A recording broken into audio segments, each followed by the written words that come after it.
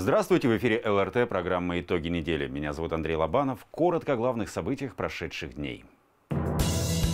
Договорились э, буквально через месяц установить здесь видеокамеры наблюдения, подключить их к системе «Безопасный регион».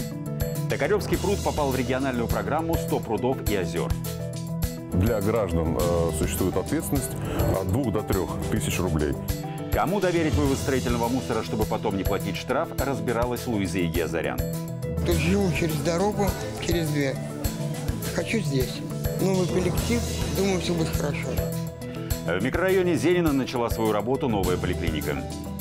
Сан Саныч, вы как человек позитивный, разносторонний, творческий. Я всегда учусь у вас э, взгляду на жизнь, подходу, потому что у вас всегда улыбка. Персональная фотовыставка Александра Рожникова проходит в Центральном парке.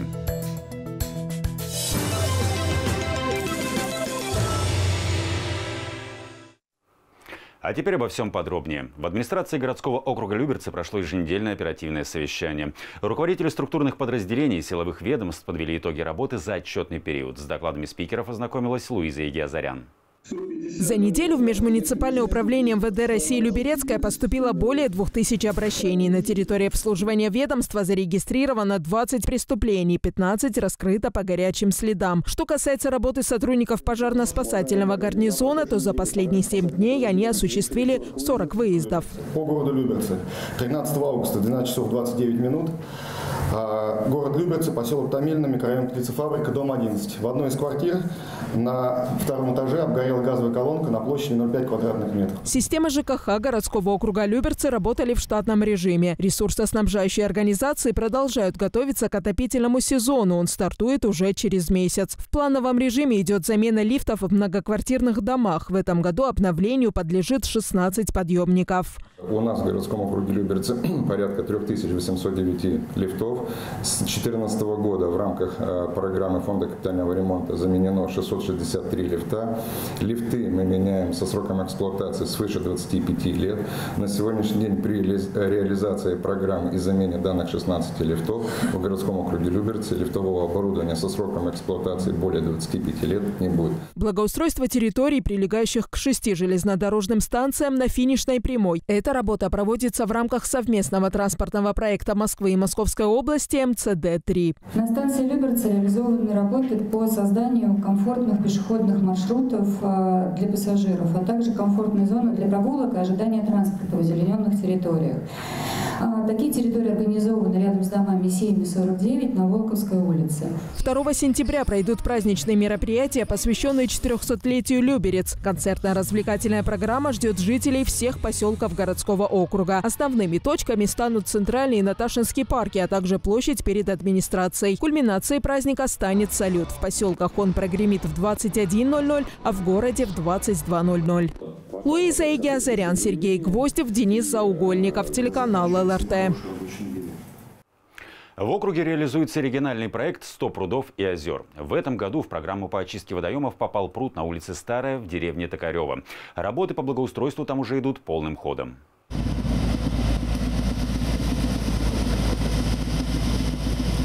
Топляк, упавшие из деревьев ветки, бытовой мусор и даже мебель. В очистке от посторонних предметов Токаревский пруд нуждался давно. И вот уже больше недели водный объект приводят в порядок. Местные жители приложили к этому усилия. Активно проголосовали за благоустройство пруда на портале «Добродел». В ночное время здесь э, часто были машины, которые сгружали мусор несанкционированный, э, когда жители не видят. И поэтому вода, конечно, э, была страшно загрязнена. Дно было очень жуткое загрязнено.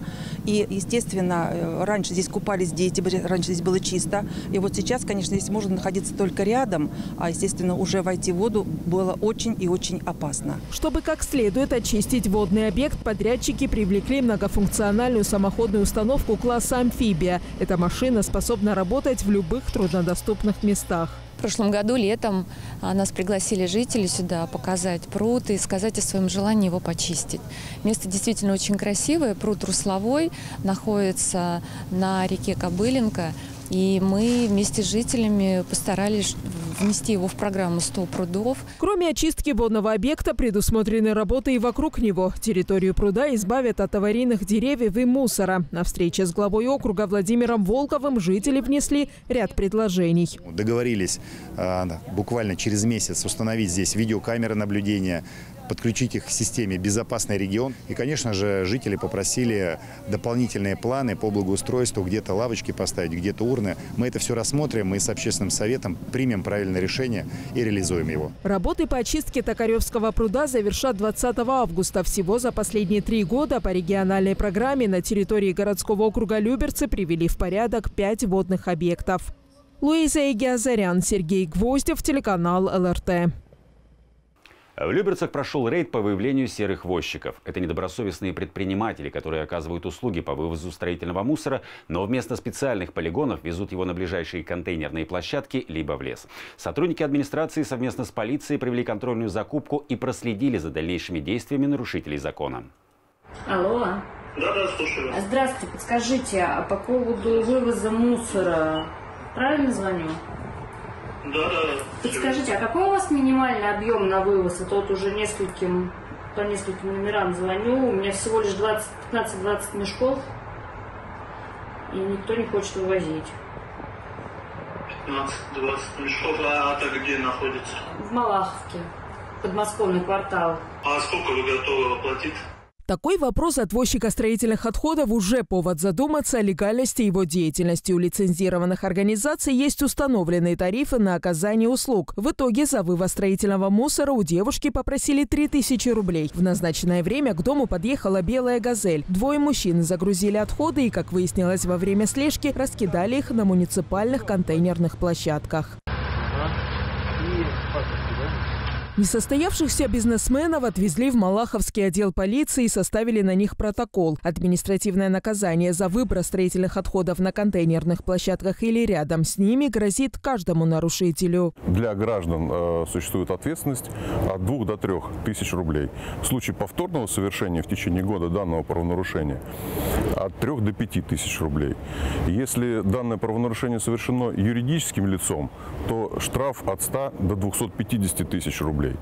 Если повторное совершение данного правонарушения в течение года, то от 250 до 400 тысяч рублей. Чтобы избежать штрафных санкций и не стать виновником образования стихийных свалок, необходимо обращаться только в специализированные организации. Список добросовестных возчиков строительных отходов опубликован на сайте Министерства ЖКХ Московской области. А если мы говорим про строительные отходы, то это отходы от э, капитального ремонта, то есть от сноса зданий, от э, э разбора разбора внутренних стен, а, кирпич, бетон. И, соответственно, заказывая вывоз э, строительных отходов у проверенных перевозчиков, мы можем быть уверены в том, что эти отходы не осядут в ближайших лесах, полях в виде несанкционированных свалок. В дальнейшем строительные отходы отправят на специализированные комплексы, где их должным образом переработают и утилизируют. Что касается крупногабаритного мусора, такого как мебель, бытовая техника или отходы от текущего ремонта, ремонта, то его вывозом занимается только региональный оператор «Эколайн Воскресенск». За всеми разъяснениями можно обратиться в свою управляющую компанию. Луиза Игиазарян, Петр Пономаренко, телеканал ЛРТ. Подходит к завершению капитальный ремонт образовательных учреждений. 1 сентября после обновления свои двери вновь откроет 46-я гимназия. Какую работу осталось выполнить строителям, узнала наша съемочная группа.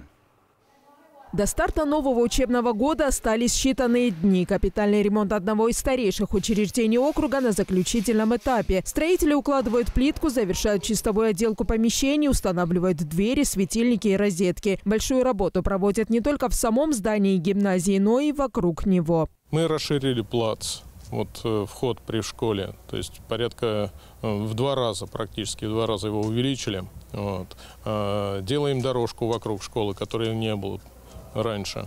То есть э, теперь асфальтовая дорожка будет замыкать полностью контур школы. Вот. Будет резиновое покрытие э, спортивной площадки. Произведено озеленение будет. Э, вырублены старые деревья, которые вот уже были плачевном состоянии, так скажем. В настоящее время на объекте в две смены трудится около 100 человек. После того, как они завершат работу, в гимназию завезут новую мебель и оборудование. Все этапы капитального ремонта под контролем властей и надзорных органов. Работы проводились в течение всего летнего периода, в каникулы, пока дети находятся на каникулах. Проведена замена кровли, замена всех инженерных сетей, укреплены проемы, окна, двери, укреплены перекрытия. Школа э, построена была очень давно, порядка 85 лет назад. И, конечно же, э, перекрытия в том числе были деревянные. Масштабная реконструкция проходит в рамках госпрограммы образования Подмосковья. Кроме 46-й гимназии, в этом году в проект попало еще одно учреждение в Малаховке – дошкольное отделение 52-й школы. Его открытие тоже состоится 1 сентября. Луиза Игиазарян, Сергей Гвоздев, телеканал ЛРТ. Почта России запустила новый формат отделений. Популярные почтовые услуги совместили с полноценными пунктами выдачи заказов маркетплейсов. Подобный объект появился и в городском округе Люберцы. Насколько востребовано такое решение для жителей, узнала наша съемочная группа. Новинка от Почты России появилась в начале августа в жилом комплексе Люберцы парк. Ключевое отличие такого отделения в том, что помещения разделены на две зоны. В одной части клиенты смогут получать и отправлять посылки, письма, оплачивать счета и переводить деньги, а в другой – забирать заказы с маркетплейса. А продавцы, в свою очередь, отгружать товары в дальнейшую доставку. Чтобы людям было, во-первых, а, удобно, б, комфортно, ну и, соответственно, получили тот перечень услуг, который мы можем предоставить. А ответ жителя, да, соответственно, оставление каких-то положительных отзывов, это уже говорит о том, что мы идем в правильном направлении. Ближайшие застройки данного квартала – это все наши, вот порядка 15 16 домов. Вы обратите внимание, да, все определенные маркетплейсы уже здесь находятся. Ну, как-то без почты. Почта тоже должна идти много со временем, тоже здесь находится. С новым форматом работы ознакомился глава Люберец Владимир Волков. За две недели около 500 жителей воспользовались услугами этого отделения связи. Всего на территории городского округа работает 26 филиалов Почты России. Луиза Игиазарян, Сергей Гвоздев, телеканал ЛРТ. Долгожданное событие для жителей микрорайона Зенина. На территории жилого комплекса Люберцы начала свою работу поликлиника на 600 посещений в смену. Медицинскую помощь там готовы оказать и взрослым, и детям. На торжественном открытии нового объекта побывала Луиза Егиазарян. Ключ от новой поликлиники официально передан медикам. С сегодняшнего дня люди в белых халатах приступают к своим обязанностям на новом рабочем месте. Поздравить врачей и жителей округа с этим событием приехала первый заместитель председателя правительства Московской области Светлана Стригункова. Очень здорово открывать объекты здравоохранения в таком качестве уже. Да? То есть мы э, с Андреем Юрьевичем утверждали стандарт, наверное, в 2021 году. Э, стандарт подразумевает не только э, красивые стены, брендбуки, цветовые гаммы и так далее, но конечно же, это и удобное расположение кабинетов, а, чтобы наиболее массовые кабинеты находились на первых этажах. Комфорту пациентов действительно уделили особое внимание. Здание оборудовано лифтами и пандусами. Имеет два входа для разделения потоков людей. Тяжелое медоборудование размещено на первом этаже. Визуально красиво, аккуратно. Тут живу через дорогу, через две. Хочу здесь. Новый коллектив, думаю, все будет хорошо. Кабинеты поликлиники оснащены по последнему слову техники. Есть все необходимое для качественной диагностики и лечения пациентов. Это и ультразвуковые аппараты, это и э, эндоскопическая техника, это и тяжелое оборудование, рентген, э, рентген на два рабочих места, флюорограф, маммограф и дентальный аппарат. Конечно же, здоровья желаем абсолютно всем нашим жителям, но рано или поздно мы обращаемся к врачам. И, конечно, приятно, когда рядом с домом есть объект медицинский, куда можно прийти, обследоваться, получить помощь в случае э, какого-то недуга. Взрослые и детские блоки разделены отдельными входами. Штат сотрудников двух отделений поликлиники, терапевты, педиатры, профильные специалисты и медсестры практически укомплектован. Набор медицинских работников продолжается. Наша поликлиника рассчитана на 600 посещений, в том числе 150 посещений нашего э, детского населения. Мы оказываем здесь прививочную работу, забор анализов крови, делаем обследование Прием осуществляют педиатры, в том числе узкие специалисты. 10-12 педиатрических участков. На каждом участке должно быть от 800 детей. Поликлиника будет обслуживать более 45 тысяч пациентов. Обратиться за медицинской помощью сюда могут жители микрорайона Зенина, а также Красной Горки, деревень Машкова, Матякова и Марусина. Луиза Игиазарян, Сергей Гвоздев, телеканал ЛРТ. 15 августа жители Люберец сдавали донорскую кровь для пациентов Центрального военно-клинического госпиталя имени Вишневского, в котором проходят лечение участники специальной военной операции. Как прошла акция, расскажем в сюжете. А меня можно красиво, пока я не лежу? Донором может стать любой здоровый человек от 18 лет, весом более 50 килограммов и не имеющий противопоказаний. Мужчины могут сдавать кровь не более пяти раз в год, женщины – не более четырех. Между донациями должно пройти не менее 60 дней. Это, наверное, мой пятый раз. Вот. Сдавал до этого в институте. А каждый раз, когда к нам приезжали, ну, брать кровь, никогда не отказывался. Кровь нужна всегда, я думаю.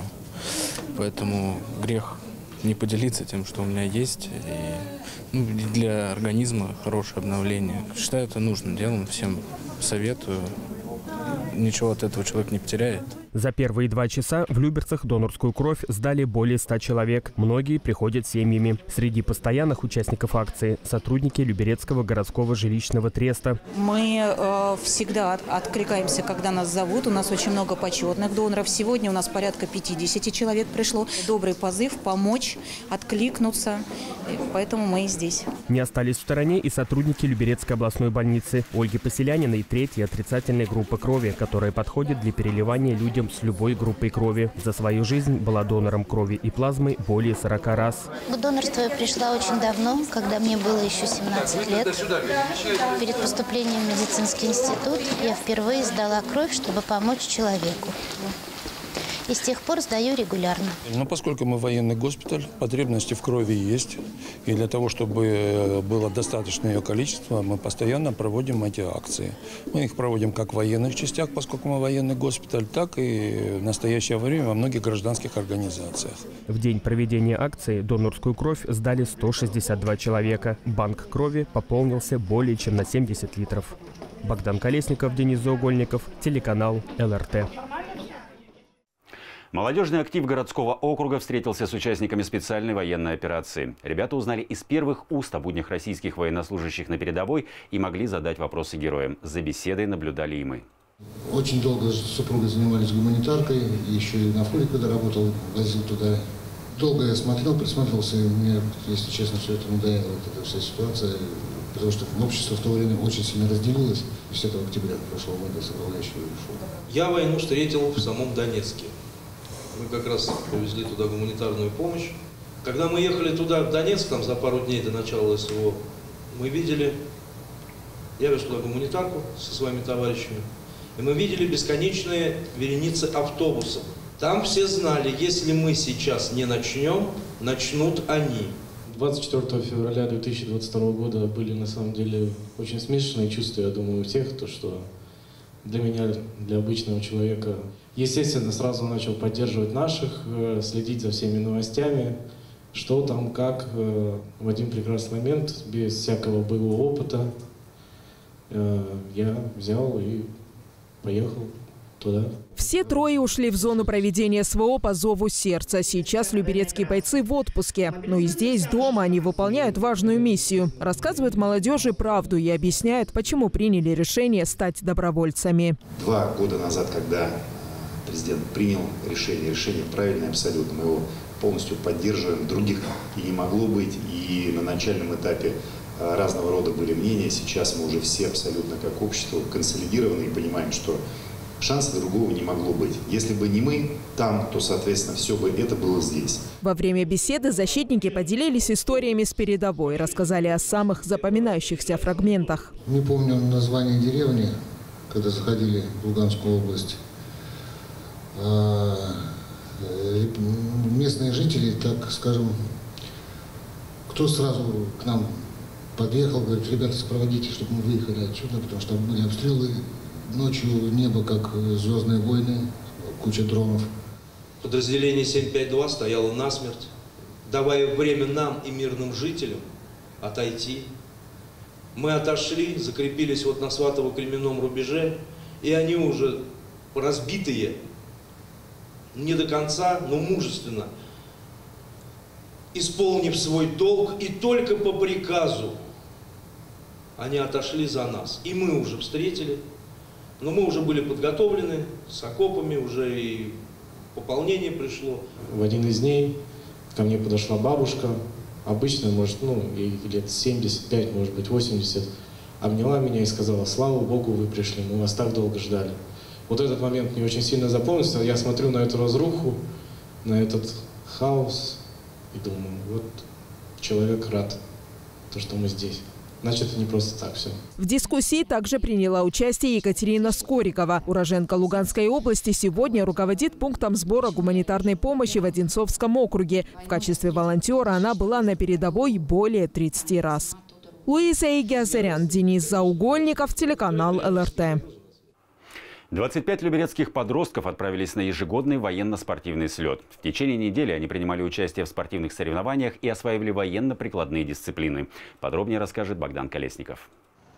Более 10 лет слет проходит в Центре военно-патриотического воспитания молодежи. Программа расписана на каждый день. Уже в первой ребята продемонстрировали свое мастерство в строевой подготовке, показали умения в разборке и сборке автомата. Мне очень нравится вот собирать, разбирать там всякие разные оружия ну, получаю удовольствие от этого только. Я думаю поставить какой-нибудь свой рекорд, но пока только учусь. В процессе военно-патриотического воспитания ребятам показывают фильмы о любви к родине, самоотверженности, о вере в себя и свои силы. Много времени отводят для спорта. Канатный парк, пейнтбол, полоса препятствий, настольный теннис, футбол и скалодром. Это весело на самом деле. Ну тут вообще тоже круто. Вон там, посмотрите, картинг, пробежка каждое утро. Типа в основном это очень крутой лагерь. Мне очень тут нравится на самом деле. Он приобрел новых друзей и старых нашел. Приходят ребята, играем с ними в футбол. Готовимся, так сказать, к матчу, чтобы выиграть кубок. Строевая выправка, умение выполнять команды, мастерство перестроения, командный дух и сплоченность. Одним словом, здесь они готовятся и к службе в армии. То, чему вы здесь научитесь, обязательно вам пригодится в жизни. Так что старайтесь. И самое главное вообще в жизни – это уметь обучаться. Потому что не знаешь, как жизнь повернется, в какую сторону. И самое главное – делать все в этой жизни честно. И тогда все обязательно получится. Подобная практика существует в Люберцах с 2010 года. За это время такой способ перевоспитания молодежи дал положительные результаты. Занятия им все нравятся, на занятия они идут с удовольствием, довольны. Такие элементы военной подготовки, как строевая подготовка, они и развивают слаженность подразделений, слаженность э, военнослужащих между собой. В прошлом году ребята, которые были, уже некоторые из них в рядах вооруженных сил выполняют свой долг перед Родиной. И, соответственно, им, конечно же, это помогает. Они уже более адаптированные приходят. На военно-патриотические слеты отправляют ребят в возрасте от 14 до 17 лет, которые стоят на учете в комиссии по делам несовершеннолетних. Многие подростки, которые ранее бывали на таком слете, встали на путь исправления и продолжают заниматься спортом. Богдан Колесников, Сергей Гвоздев, телеканал ЛРТ. Штраф за переход железнодорожных путей в Москве и Московской области вырос в 15 раз. Теперь нарушители правил безопасности будут платить не 100, а полторы тысячи рублей. Такие меры приняты для предотвращения травматизма и смертности на опасных участках. Но, как показал очередной профилактический рейд, большие штрафы пугают не всех. Станция Люберцы-1 – один из самых оживленных участков казанского направления. Большой поток пассажиров и, соответственно, большое количество нарушителей влекут за собой печальную статистику. В этом году 8 человек получили здесь тяжелые травмы. Виной тому несоблюдение правил безопасности. Зачастую несознательные граждане осуществляют переход э, железнодорожных путей в неустановленных местах. Также используют э, проломы в ограждениях для того, чтобы попасть на станцию и без билета достигнуть э, пункта своего назначения. По сравнению с прошлым годом количество смертей на железной дороге существенно сократилось. Если в 2022 на территории округа было 12 таких случаев, то за 8 месяцев этого года пока только 3. Добиться такого результата удалось благодаря профилактическим мероприятиям. Для профилактики, ну, само собой, ведем пропаганду просто с жителями, с учениками образовательных учреждений. Также заделываем несанкционированные проходы в ограждении железной дороги. Ну и плюс пытаемся, высаживали кустарники в Панка, где нет ограждения. Вместе с РЖД высадили колючие кустарники. Кроме того, на объектах железной дороги систематически проводят рейды. Сотрудники администрации линейного отдела полиции ежедневно выявляют нарушителей. Документы ваши, пожалуйста. У меня нет с собой. А почему вы нарушаете? Потому что мне так удобнее вот здесь пройти. Вы совершили административное правонарушение. Держим часть, пожалуйста, мы пройдем составление административного протокола. Регулярно проводятся и управлением на транспорте, и нашими линейными подразделениями проводятся рейдовые мероприятия. А, они направлены как на пресечение травматизма. Это очень важное направление нашей деятельности, потому что, к сожалению, в наше время это очень нередкие случаи, в том числе и детский травматизм. С 11 августа вступили в силу поправки в Кодекс Российской Федерации. В Москве, Санкт-Петербурге, а также Московской и Ленинградской областях сумма штрафа за переход железнодорожных путей в неположенном месте – полторы тысячи рублей. Наказание в виде предупреждения уже не предусмотрено. Луиза Игиазарян, Сергей Гвоздев, Петр Пономаренко, телеканал ЛРТ. Профилактические акции «Переходи по правилам» сотрудники госавтоинспекции проводят регулярно. Однако, как показывает практика, даже на регулируемом пешеходном переходе происходят дорожно-транспортные происшествия. Почему, выясняла наша съемочная группа. Пешеходный переход на улице Инициативной к станции Люберца-1. Интенсивное движение и транспорта, и пешеходов. Здесь есть не только зебра, но и светофор. Что может быть проще? Красный – стой, зеленый – иди. Но даже таким простым правилам следуют не все участники дорожного движения. Сегодня мы будем проводить профилактические беседы с пешеходами, детьми, а также взрослыми а, о неокоснительном соблюдении правил дорожного движения, как правильно переходить проезжую часть по пешеходному переходу. Также всем участникам акции будут выданы световозвращающие элементы в виде наклеек и тематические листовки по правилам безопасного поведения на дорогах. В рамках акции инспекторы ГИБДД обращались к пешеходам и объясняли им, какие опасности могут ждать пешего участника движения при переходе проезжей части и как их избежать. Что вы должны первым делом сделать, подходя к пешеходному переходу? Посмотреть на светофор. Посмотреть на светофор, да. Если горит зеленый пешеходный светофор, то мы можем идти. Просто идти или как? Посмотреть по сторонам. Подходя к пешеходному переходу, не забудь посмотреть по сторонам, а также убедиться в безопасности своего перехода. Кроме того, объясняли, почему необходимо исключать такие отвлекающие от дороги факторы, как наушники и сотовые телефоны. Луиза Игиазарян, Ирина Иванова, Петр Пономаренко, телеканал ЛРТ. Большой праздничной спортивной программой отметили в Томилине День соседей. Мероприятие организовали люберецкие депутаты и управляющая компания «Содействие». Как прошел праздник, расскажем в сюжете. Что соседями обычно делаем? Дружим? Дружим. Гуляем. Чай пьем, заходим? Да. Ну и, конечно, подарки дарим друг другу, правильно? Главное жить в дружбе, главное общаться и главное, конечно, знать своих соседей для того, чтобы наш город становился красивее и комфортнее. Во дворе на улице Гоголя собралась детвора со всей округи. Каникулы в самом разгаре, а значит время познакомиться, играть в подвижные игры и развлекаться с аниматорами. Мне это самое лучшее время года. Я дождался то, что открыли фонтан. Сто, столько много зал. Праздник очень классный. Теперь мы будем с ребятами День соседей объединил людей разного возраста и увлечений. По словам депутата Елены Верховых, такие праздники позволяют людям чувствовать единение друг с другом. В жизни не хватает праздника, тем более в этот э, год у нас 400-летие. У нас на округе на шестом будет достаточно много таких программ. Я считаю, что люди пусть приходят, знакомятся, и, а мы, депутаты, как бы подключаемся, чтобы решить какие-то вопросы насущные. Одну из просьб жителей депутаты исполнили. Во дворе 48-го дома по улице Гоголя отремонтировали фонтан. Это еще один подарок к 400-летию Люберец.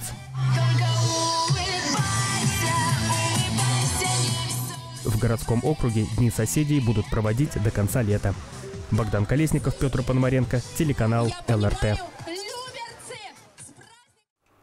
День соседей шагает по Люберцам. Еще одной площадкой празднования стал двор на улице Лорха. Для жителей организовали развлекательную программу с играми и конкурсами. На празднике в Кореневе побывали и мы. Ягода маленько, Зажигательно и весело начался праздник добрососедства во дворе 15-го дома по улице Лорха. Хорошее настроение и яркие эмоции подарили жителям музыкальные номера творческих коллективов Красковского культурного центра. Для многих праздник был неожиданным, но все с удовольствием провели время в кругу соседей. Мне очень тут весело, очень зажигательно, очень ярко. Ну, наверное, очень песни нравятся. Я люблю танцевать. Все спортивные состязания, анимационные шоу и конкурсы для детей. Этот праздник жителям Коренева организовали управляющая компания «Содействие» и депутаты. Замечательное настроение, много людей. Очень здорово, что такие праздники проходят во всех дворах нашего городского округа. Люди действительно могут познакомиться, пообщаться и какую-то трудную минуту, возможно, поддержать друг друга. И нам, как депутатам, это тоже очень важно. Мы приходим пообщаться с жителями, возможно, получить какой-то наказ. Отмечать День соседей во дворах стало доброй традицией в округе. Такие праздники объединяют и оставляют яркие воспоминания. Все нравится. Очень весело. Нужно почаще таких мероприятий проводить. Я прям за. День соседей объединил более 200 жителей микрорайона. Завершился праздник чаепитием со сладкими угощениями в теплой дружеской атмосфере. Богдан Колесников, Петр Пономаренко, телеканал ЛРТ. Центральном парке открылась персональная фотовыставка Александра Рожникова. На ней представлена летопись творческой жизни известного российского скульптора. Этот проект люберчанин приурочил к 400-летию родного города и к 40-летию с момента поступления в Строгановское училище. На открытии фотовыставки побывал наш корреспондент.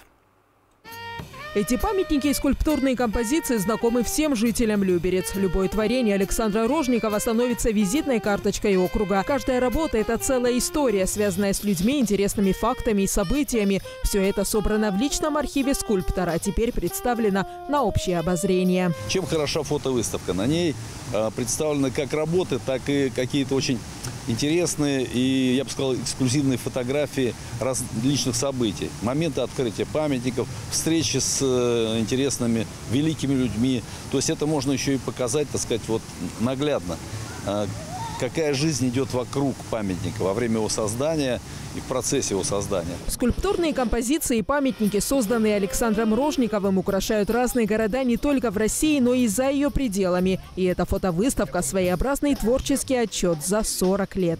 На этих стендах представлена лишь малая часть работы автора выставки. Точного подсчета своих скульптур Александр Рожников не ведет. Но абсолютно точно в Московской области он является рекордсменом. Для своего родного региона скульптор создал более 50 памятников и композиций.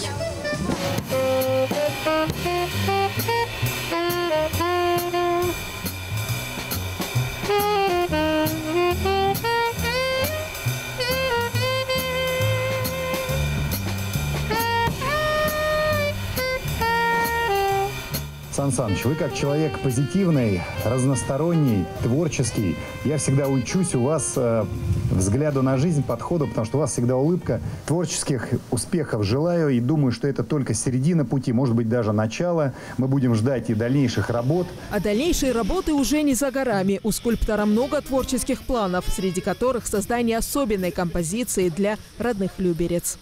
Луиза Игиазарян, Сергей Гвоздев, телеканал ЛРТ. На главной площади перед Люберецкой администрацией состоялся региональный этап всероссийских массовых соревнований по уличному баскетболу «Оранжевый мяч». Турнир провели в рамках Кубка губернатора Московской области. Как прошел праздник спорта, расскажут мои коллеги. Перевод на 45 градусов на треху. Бросок самого седьмого номера общит не точно. Соревнования проводят в соответствии с правилами баскетбола 3 на 3. В составе каждой команды по 4 человека. Три игрока на площадке и один в запасе. На самом деле очень понравилось, не ожидал. Думал, что приедем на обычную площадку, а тут прям целый турнир организованный. Ну, атмосфера очень классная. Но тут очень много людей, с которыми мы раньше до этого играли, очень сильные. А, так что будем надеяться, что выйдем из группы и продолжим играть. Это соревнование проходит уже второй раз. Первый раз это было в 2021 году, и соревнования были посвящены почетному гражданину Московской области области Давиду Яковлевичу Берлину, который также основал «Спартак». И мы рады принимать здесь 201 команду от 33 муниципальных округов. И, в общем-то, мы стараемся поддерживать реноме спортивного округа Московской области. На турнир приехали баскетболисты из Дзержинского, Щелково, Сергиева Посада, Мытищ и других муниципалитетов Подмосковья. Городской округ Люберцы представили 10 команд. За призовые места состязались и девушки, и юноши. Все очень красочно, весело, музыка хорошая, приятная. А, очень хочется поиграть побольше. Для нас важно то, что соревнования такого уровня проходят в Люберцах. Люберцы – это территория спорта. Каждый спортсмен продемонстрировал умение использования технических приемов в игре и проверил уровень подготовки на тренажере для тренировки бросков. Станислав Аникин приехал на соревнования из Сергиева Посада. Баскетболом занимается 9 лет. Командный дух и самоуверенность. И не бояться, самое главное. Сейчас 285 сантиметров прыгнула. Хочу ну, примерно хотя бы ну, метра три, ну, чтобы ну, за, сверху закладывать. Всероссийский массовый турнир по уличному баскетболу «Оранжевый мяч» впервые провели 18 лет назад. В Люберцах он объединил почти тысячу спортсменов. Богдан Колесников, Денис Заугольников, телеканал ЛРТ. В Люберцах стартовал 13-й чемпионат России по кабельному вейкборду и вейкскейту. Открытие масштабных соревнований состоялось в День физкультурника и стало настоящим подарком для любителей экстремальных видов спорта. Все подробности в следующем материале. Чемпионат России объявляется открытым. Мероприятие такого масштаба Краскова Вейк-парк принимает впервые. Более 120 участников из 13 регионов России приехали, чтобы продемонстрировать свое мастерство и мотивировать других заниматься этим захватывающим видом спорта. По сравнению с другими спортами, здесь есть всегда дружеская атмосфера, независимо от того, из каких вы городов, соперники вы или друзья. Всегда все добродушны друг к другу. Для многих райдеров этот карьер уже знакомая локация. Среди участников соревнований воспитанники секции по вейкбордингу, открытой на базе Краскова вейк-парка. Лебедка очень классная, мне все очень нравится, фигуры тоже. Все отлично. Будем делать все, что в моих силах. Будем кататься и получать просто удовольствие от любимого спорта. Соревнования проходят на новой кольцевой установке. Пятиопорную канатно-буксировочную дорогу длиной 620 метров открыли год назад, тоже во время празднования Дня физкультурника. Прикладываем максимальные усилия к тому, чтобы сделать популярным эти виды спорта. Ну вот, э, как видите, по количеству людей уже достаточно популярны. Детей тренируем, маленьких, начиная с 7 лет. У нас есть бесплатная детская секция по вторникам и четвергам. Люди с ограниченными возможностями тоже занимаются бесплатно. Чемпионат проходит по четырем дисциплинам – вейкборд и вейкскейт, где участвуют мужчины и женщины без ограничений по возрасту, вейкборд фигуры и сидячий вейкборд. В каждой категории участников определят первые, вторые и третье места. Луиза Игиазарян, Петр Пономаренко, телеканал ЛРТ. В парке Наташинские пруды отметили День физкультурника. На территории роллер-дрома состоялись показательные выступления хоккеистов, борцов и гимнасток. На празднике побывали и мы. Несмотря на дождливую погоду, дню физкультурника быть. Хоккейные команды готовятся к товарищескому матчу. Сегодня на роллердроме встретятся спортсмены из Москвы и Люберец. Настроение у всех боевое. Совместить приятное с полезным, показать э, публике, что такое хоккей на роликах, и да, потренироваться, провести товарищеский матч. Это наша, э, скажем так, тренировочная база. Здесь мы тренируемся и уже выступаем далее в соревнованиях. В то время как хоккеисты гоняли шайбу на роллердроме, перед посетителями парка выступила Ульяна Сафронова. В свои семь лет девочка – многократный чемпион России по спортивной аэробике. Затем на этот же ковер по очереди стали выходить команды по вольной борьбе. Мы привлекаем всех, всех спортсменов, наших коллег, товарищей, людей, которые к спорту не имеют никакого отношения. Мы стараемся всех их приобщить к, к спорту, сделать из всех спортсменами, а, стараемся внести внести в спорт массы. Это очень важно, потому что это наша жизнь, это наше здоровье, и мы должны э, нашим детям, нашему будущему вложить это в данный момент сейчас. Пока у нас есть такая возможность, мы должны это все продвигать. Гости спортивного праздника увидели показательные выступления команд по вольной борьбе из Москвы и различных уголков Подмосковья. Все желающие могли принять участие в мастер-классе от профессиональных тренеров. Луиза Игиазарян, Петр Пономаренко, телеканал ЛРТ.